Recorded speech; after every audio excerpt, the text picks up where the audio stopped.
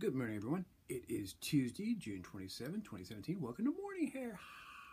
Continuing our month of Shakespeare, only three days left, or thereabouts.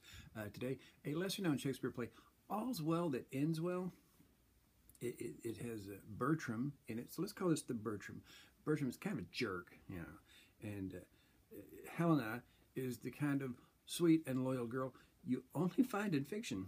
Well, anyway, uh, not much happens in Well That Ends Well. If you haven't thought about it, that's okay. Neither has anyone else.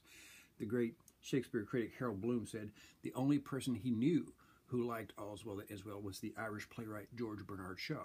Um, it was, uh, it did have the bed swap in it though. Might have been the invention of the bed swap, you know, where somebody gets in a dark room, pretends to be somebody else, and yeah, yeah, Anyway, um, the only famous thing, the only famous quote I can think of from All's Well That Ends Well is the title, All's Well That Ends Well.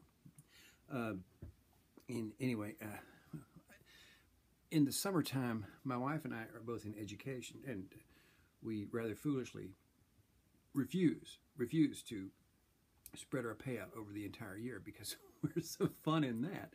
So every summer we play a game called Hunter Gatherer where we try to survive until the paychecks start coming again in September. Uh, but you know, it's summer, and hey, maybe it will end well. That's my hope. Anyway, I don't. I've survived all these. You know, what every summer since 1982. I've managed to survive so far. I have no doubt I'll survive this summer as well. Hey, everybody, have a good day. And uh, it started good. Gonna rain here, but if it ends well, yeah, if it ends well, it was a good day. If the day ends well, it was a good day. And if it ends with you breathing, it's a good day. See you tomorrow. Bye.